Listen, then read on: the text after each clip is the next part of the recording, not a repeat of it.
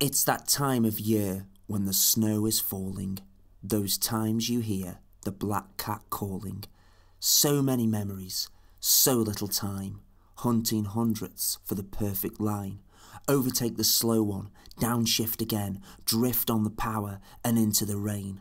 Deep in the night, the laps keep pounding, memory push just to find your surrounding. Your mind drifts, why do I put myself through it? To be the best driver, that's all there is to it. Driver swap flies by, that's why they call it the pits. Because you can't just stand there and not be in bits. You try to sleep, but your eyes won't shut. Will my teammate make the cut? Try not to think about the win. Remember the smugness of their last year grin. Life flashes by, and you awake. Rush to the pits to see the mistake. Pit crew flying, tyres changing, suspension settings rearranging.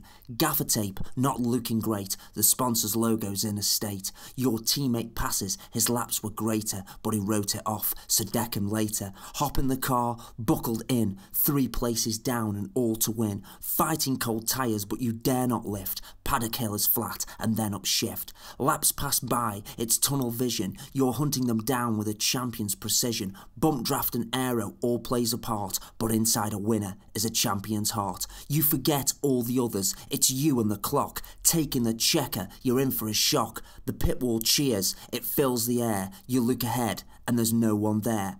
On the podium, the old P1, but just remember where it begun. The winter's night you dared to dream, the calls you made to build the team, the crappy sponsor who let you down, the amazing new one who said go to town, the kettle, the tools, the old woolly hat, and your amazing new helmet made by Black Cat.